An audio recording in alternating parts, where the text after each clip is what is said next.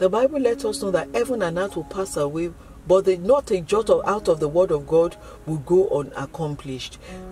We want you to know that heaven is our target. We must not miss it.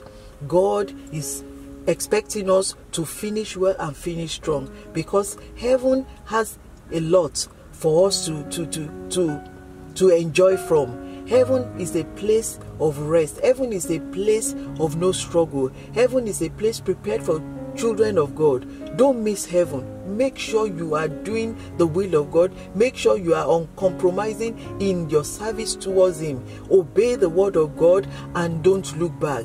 You don't want to miss heaven. It's a sweet place. It's the, the word of God says that it's a place where angels are singing to him 24 hours saying holy holy holy. We want to be part of this beautiful beautiful experience. Make sure you don't miss heaven. Heaven is the place for us